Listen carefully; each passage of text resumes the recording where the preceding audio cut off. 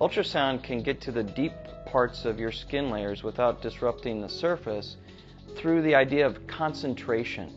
And I, I, really, when I talk about this or I describe it to other people, I like to use the light analogy with the magnifying glass.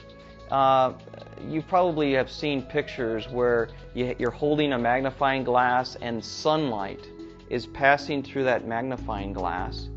And at one particular point, after that sunlight passes through that magnifying glass, the light is highly concentrated. And if it's concentrated enough, you can actually use it to heat things.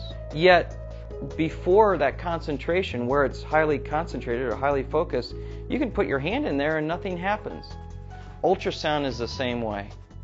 It's diffuse before it gets to those layers that we intend to treat. Because it's diffuse or spread out, no heating occurs. It only occurs where we get it highly concentrated, which is below the surface of the skin. That's what makes us very unique.